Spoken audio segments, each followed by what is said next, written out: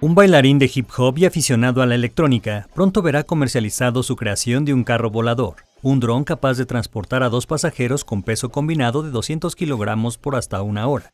El filipino Kix Mendiola construyó con partes de drones el prototipo de un vehículo eléctrico volador, apto para trasladar a una persona por no más de 15 minutos a una altura de hasta 6 metros, un video en YouTube del aparato se volvió viral y atrajo la atención de la compañía Star 8 Internacional que desarrolla la versión comercial del aparato. Mendiola llamó a su invento Concepto Millennial, una idea que le nació hace unos 8 años por su interés en aviones y helicópteros de control remoto. En los intentos gastaba sus ahorros y aunque no lograba resultados positivos, nunca se rindió, hasta que a principios de septiembre logró que volara satisfactoriamente el concepto millennial, lo grabó en video y lo subió a YouTube donde se volvió viral.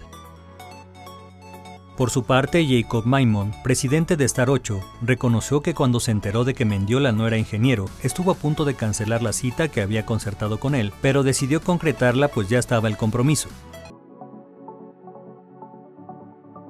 Por lo pronto, un obstáculo a vencer es el de las autoridades aeronáuticas filipinas, pues ya señalaron que no tienen regulaciones para el Future 8, como se llamará el dron comercialmente, pero adelantaron que estudiarán las leyes que ya existen en otros países. Notimex.